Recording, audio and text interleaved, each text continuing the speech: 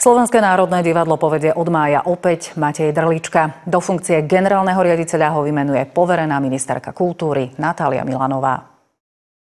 Na Slovensku pribúdajú obete finančných podvodov. Podľa ministerstva vnútra za Vlaňajšok evidujú o 8% viac ekonomických trestných činov ako rok predtým.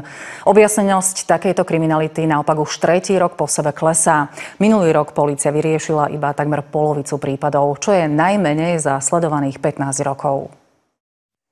Viac o príbehoch tých, ktorí prišli o svoje peniaze, uvidíte v relácii Reportéry, neskôr večer na jednotke.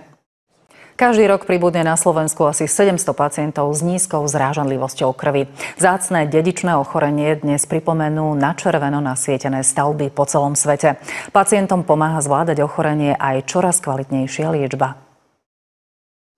Na Slovensku mierí nový obchodný reťazec. Mala by to byť poľská biedronka, kde už teraz nakupuje množstvo Slovákov. Lákajú ich ceny.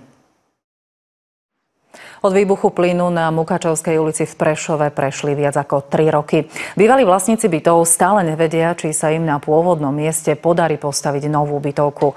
Hrozí, že jej výstavbu si nebudú môcť dovoliť. Začal sa týždeň slovenského filmu, prehliadka toho najlepšieho, čo vzniklo za minulý rok.